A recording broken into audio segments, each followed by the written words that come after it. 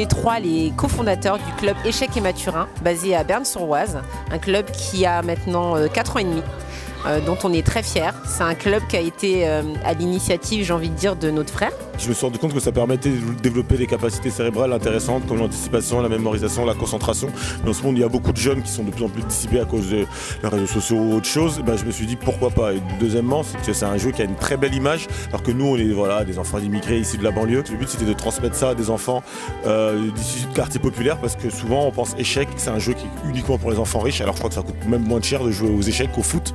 C'est juste ce jeu-là qui permet à certains enfants bah, de se sentir bien et de se sentir autre. Et aujourd'hui, on est assez fiers euh, parce que ce projet qui euh, initialement était prévu pour la commune de Berne-sur-Oise euh, commence à s'implanter un peu partout et même à l'international. On a créé d'ailleurs un projet qui s'appelle Chess for Haiti où là, on développe le jeu d'échecs en Haïti. Aujourd'hui, on a eu la chance d'organiser le championnat départemental pour la catégorie petit poussin poussin pour les qualifications régionales.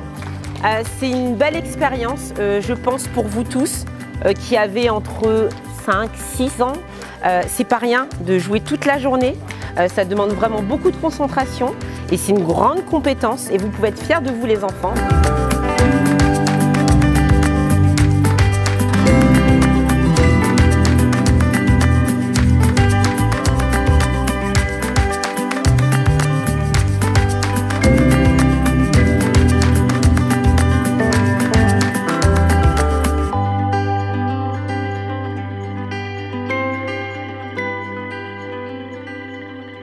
Je dis échec, vous dites